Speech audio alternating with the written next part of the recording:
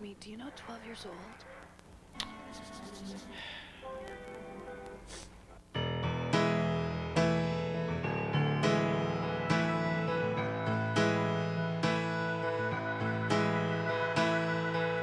I just can't stand the way I feel.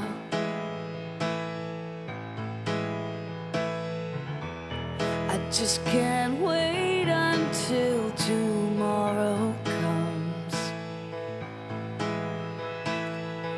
So if you'd care